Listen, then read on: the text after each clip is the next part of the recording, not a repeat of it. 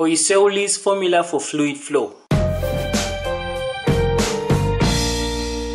So if a liquid is flowing at a steady flow in a tube such as this one, the volume of the liquid that is issuing out or that is flowing out per second is going to be affected by three things. First of all, the volume flow rate, which we're representing here as volume, divided that by time, is going to be affected by the viscosity of the liquid. The volume flow rate is also going to be affected by the radius of the pipe in which it is flowing. And the volume flow rate will also be affected by the pressure gradient as the fluid is flowing through. And the pressure gradient, in this case, we're talking about pressure. P, this is standing for pressure difference, divide that by the length. This L stands for the length of the pipe. Pressure gradient is simply the change in pressure of a liquid in a tube of 1 meter. The change in pressure being P2 minus P1, which is represented by P, divide that by the length of the tube, which is L. So it means that that we mean by pressure gradient, the change in pressure of a liquid in a tube of 1 meter. So when we are talking about steady flow of a liquid through a tube like that, according to Poiseuille's formula, it is such that this steady flow is affected by these three factors, which is the radius, the pressure gradient, and we have the viscosity. Now combining these three gives us something like that, that uh, um, volume flow rate, the rate at which that fluid is flowing at steady state condition is directly proportional to the coefficient of viscosity, the radius of the pipe, and the pressure gradient. Now, this to remove this um, proportionality sign, we introduce a constant of proportionality which we have called k, and uh, this gives us coefficient of viscosity to the power x, r to the power y, and this to the power z. And now we need to find out what the value of x, y, and z are. And after finding out the value of x, y, and z are, then we write the proper formula for this. So we are going to use dimensions to find the values of x, y, and z so that we end up finding the correct equation for this thing. So we'll begin. So using dimensional analysis, we know that uh, we, we need to find the dimensions of v, divide that by the dimensions of time is going to give us k. Now k, since k is constant, it means it is dimensionless. Of course, this coefficient of viscosity uh, to the power x uh, has dimensions times r to the power y, multiply that by uh, the dimensions of p, divide that by the dimensions of l, which is the length, and this is all to the power z. So we have the power z up there and the power z up there. So we continue. So of course this is volume. Volume is l to the power 3 so this is l to the power 3 divide that by the dimensions of time is capital T which is time. That is going to be equal to uh, the dimensions of the coefficient of viscosity. Now, to get the dimensions of uh, coefficient of viscosity, we're going to have to do some side work. We all know that coefficient of viscosity by definition is given by uh, force, divide that by area times the velocity gradient.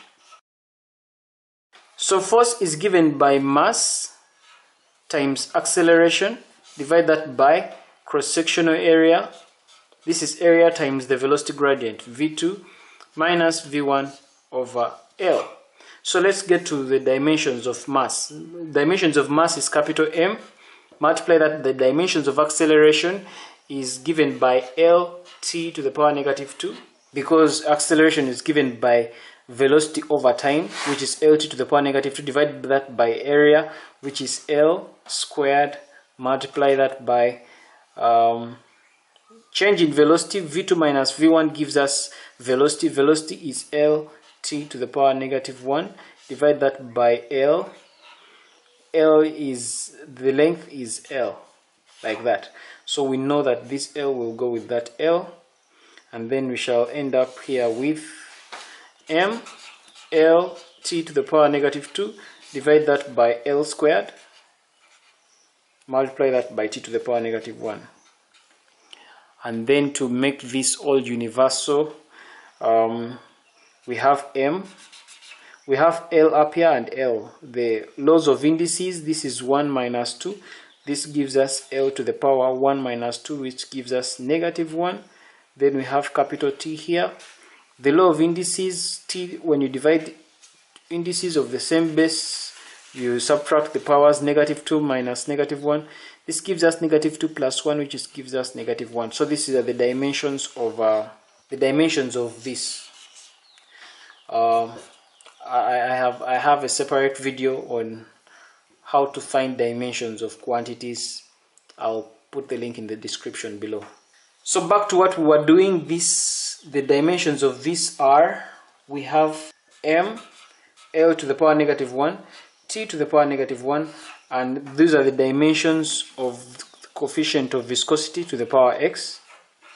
Multiply that by r r is l to the power y because r is radius it's a length. And then uh, we have also pressure pressure gradient. Of course now pressure over L let's summarize it and get, bring one thing here. Again we're going to do some side work for P over L. So we have pressure over the length.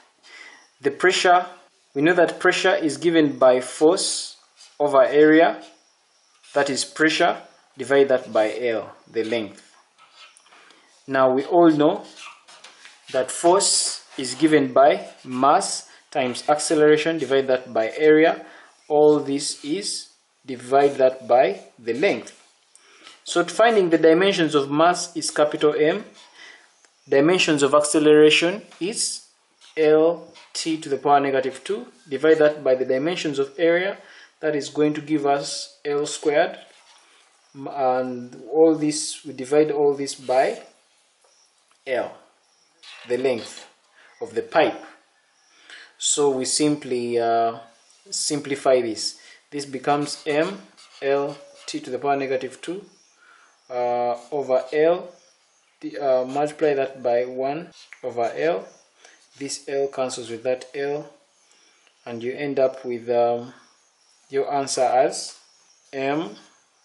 This is L to the power negative 2 ml to the power negative 2 then you have uh, t to the power negative 2 so those are the dimensions of p over l. So this is going to become m l to the power negative 2 t to the power negative 2 and this is to the power z. So from this we have something like this. We have l to the power 3 t this is to the power negative 1 is equal to capital M L to the power negative 1 To the power negative 1 this is to the power X. Multiply that by L to the power Y. Multiply that by M. L to the power negative 2 T to the power negative 2 and this is to the power Z. So let's compare the powers. We start equating the corresponding indices. Now let's look at the indices where we're having for those of m. You look at m on this side of the equation and that side of the equation. So when it comes to m, this way there is nothing, so 0 is going to be equal to, let's look at m this side of the equation, we have x, um, then we have another m here, it is to the power z, so it's going to become x plus z. That's equation 1. Then let's get to L let's equate the indices for L. When you get to L, this side of the equation we have L to the power 3, so we have 3 there. So it's going to become 3. It's going to be equal to, when you come to L this side, we have L to the power negative 1, negative 1 times x gives us negative x. Then you have L here to the power y, so it's 1 times y, which is y, plus y. Then we have another L here to the power negative 2, negative 2 times z is going to be minus 2z. That's another equation too. Then you come to the to t. You equate the indices of t, and uh, for t, we look at uh, this side of the equation. t has negative 1 this way, negative 1 is going to be equal to t this way is negative 1 times x is going to become um, negative x. That's going to give us uh, then t here negative 2 plus z.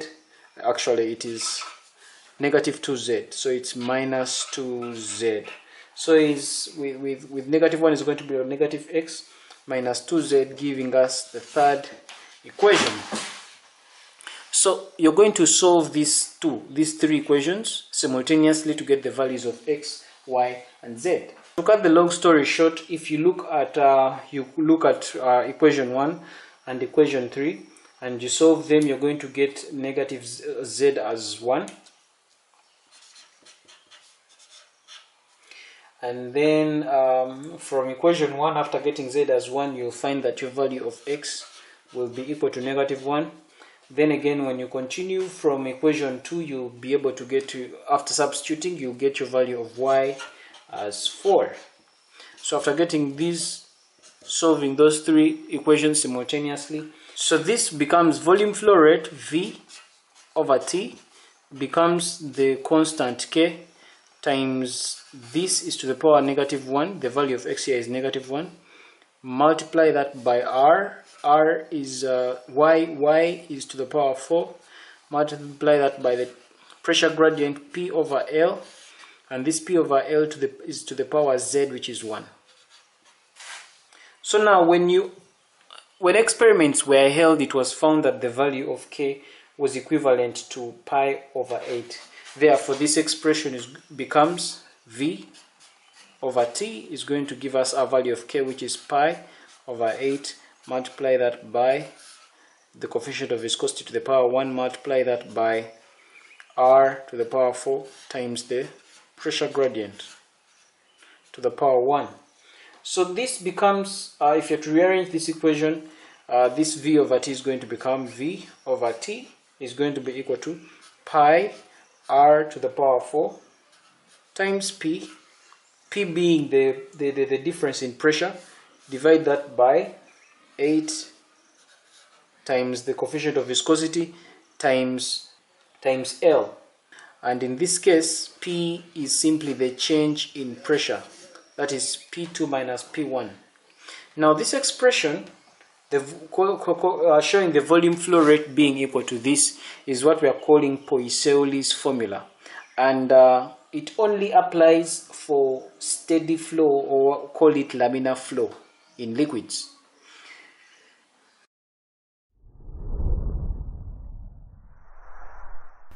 This brings us to the end of this video. Thanks for watching. Feel free to check out other excellent videos on the channel and don't forget to subscribe. For Kisembo Academy, this is Arnold Rangakuramia helping you manifest excellence.